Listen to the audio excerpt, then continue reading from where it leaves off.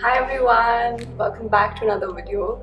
So today in this video I'm going to talk about the gua sha and the jade roller because these two things have gone viral on Instagram and a lot of people are using them and you know like a lot of people don't know how to use them. So I made a very cool video on my gram. A lot of people liked that video and they told me that you know it's very helpful to make a video about the jade roller. So here I am talking about these two things. I have my jade roller with me. This is how it looks. Um, and I have my guasa. This is the guasa. Um, this comes in a lot of shapes and sizes. I have this one for the purpose of the video. So both these tools are used for lymphatic drainage relaxing the body toning of the face the sculpting of the face and there are many more uses of both these things. It is flushing out of the toxins from your body and uh, we have to regularly do it for our face as well because we don't want any toxins in our face. Both these tools are like really ancient tools and they've been used for lymphatic drainage and for face sculpting for many many years. So the difference between the two is that gua sha actually has more benefits than the jade roller. It goes deeper into the whole relaxation, the lymphatic and toning. Jade roller is much much much more easier to use on the on the face. Like it's not so technical. You can just like uh, be roaming around the house, rolling your face with a jade roller. It really doesn't matter. But with gua sha, like you have to get used to it. But a lot of people think that you have to use these tools very harshly on your face. Like you have to press really hard for for you to activate the lymphatic drainage it actually is the opposite. You have to be really gentle and light with these tools if you use them harshly they would cause more damage than good. And we definitely don't want that. So the gentle reminder to be using these tools is that you have to use them very lightly with a gentle hand. Even the smallest of touch can activate your lymphatic drainage let's get into the video.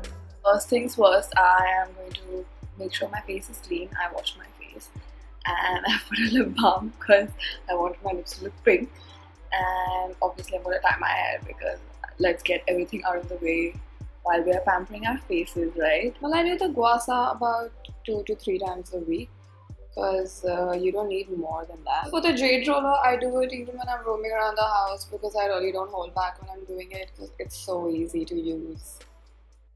I'm going to be using this Perenne Under Eye Cream for my under eye because I really need some as you can see. I recently got this and I'm gonna take pea size amount of it and lay it under my eye. It's really important to moisturize your under eyes because that's the most gentle area and you really need it to stay hydrated when you're using some face massage tools. Leftover I'm gonna just put on my smile line now for my face, I'm gonna be taking the Perenne Eternal Glow Nectar Dry Oil Serum. It's super good. I already have dry skin, so I need something on my face. I'm just gonna take a few drops, put it on my forehead, put it on my cheeks, put it everywhere that I need, even the neck. It's very important for all the tools that we use to slide on your face to easily glide and not create any friction. Oh my god, it smells so good. It smells like a little spa. So I love putting this on my face and you have to make sure that everything is covered with oil. You guys can choose whatever suits your face. Uh, coconut oil works very good for me as well. So now that we've prepped our skin, let's start using the jade roller on our face. I love putting my jade roller in the refrigerator. I like it cold on my face. I start with my neck and roll it downwards. It's actually the opposite when it comes down to your neck. You have to start from your jawline and clear the passage down to your clavicle bone. And you keep rolling it um, roll it three to five times at the same spot and then you can change. You can also roll along your clavicle bone. It's basically clearing out the whole passage so that when you roll your face the toxins have a clear way to get out of your body so now coming to your face, you have to take the big side of the roller, start from your chin area and you can push the whole roller, glide it, take it back to your jawline and then pull it down. Push those fluids down, it's really important. I also like to roll over my lips because I like very plump, fleshy lips. So I do it again three, four times over my lips now it's time to accentuate the cheekbones. I really like sculpting, lifting, toning my cheekbones. So I spend a little extra time on my cheekbones. I do it very slowly, very nicely and lift my cheekbones up high and this gives me the model like cheekbone and now headed towards my under eye I'm going to use the smaller part of the roller and use it very gently again from the inner corner taking it out to the outer corner. It's really important that you put really less pressure because the under eye area is really sensitive.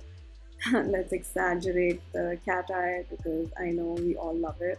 So I'm gonna massage I'm gonna roll sorry my roller two three times on the cat eye making it more visible. So now moving on to my brows let's give these bad boys a little lift. I'm gonna use the bigger side and push my brows up again doing it three four times on one spot and then moving it to the next brow doing it again two three times I really like the whole look of the Botox brow, like where your brow looks a little lifted. Now I'm gonna roll my brow horizontally because that's also really important that you do it both sides.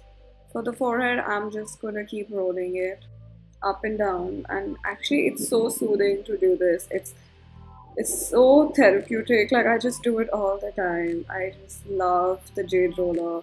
Walk around the house doing it. It's so easy. Also do the nose again, push it up and then drain everything down. Get those toxins out of the body. So now coming down to gua sha, I would like to reiterate, uh, please do not use it harshly on your skin. Number one. Number two, always lay the gua sha flat on your skin. Don't rub the edge so it has to glide and slide flat on your skin for it to really work because this is too harsh and also do remember when you take the gua sha down you have to take it down and when you end it you gotta wiggle it because that's how the drainage system starts i'll show you how to massage your face with this beautiful now i'm gonna take this divot side and squeeze my spine by doing this you're kind of massaging your entire nervous system because this is where everything branches out from. So after doing it two three times you come to the front. Again we're gonna pull the gua sha flat from under our ear to our shoulders and wiggle it in the end. Do it three four times and then move to the other side for this video I'm just going to do half of my face because I've already done the jade rolling. And then you come down to the center do the same thing. Now you massage the clavicle bone again from the center go to the side towards your shoulder wiggle it in the end and I'm just gonna move on to the face. I'm gonna use the same side of the gua sha tool. Take from my chin pull it towards my ear and wiggle it towards the end so this is how you do it. Um, you can see that I am not putting too much pressure because you have to use minimal pressure. Now coming to our cheekbones my favorite area your favorite area I take the gua sha pull it a little upwards because I want really high cheekbones. So I'm gonna pull it and then do the wiggle. So for the under eye I'm gonna take this small curve and with the least amount of pressure basically I'm just touching it lightly feather touching it. Again I create that cat eye three times four times and now the brows. So let's lift the brows. I'm gonna take the curved end pull the brows up take them high and wiggle it. Now we're gonna do the same thing vertically. Oh my god guys can you see the difference now I'm going to complete my forehead, complete my nose and just uh, fast forward everything for you all to see and keep massaging my face a little bit more because I'm now into it and I really am enjoying it. So I'm going to do that and see you on the other side. So that's it you guys. This is my video on gua sha versus the jade roller and you can use any for your skin and your face but you have to remember that you have to do it over time for it to show results. If you haven't watched my previous video please go do watch it. It's my makeup routine and a lot of storytelling about me growing up in India. Thank you so much for being here. Please do subscribe to my channel. Follow me on Instagram and I'll see you guys next time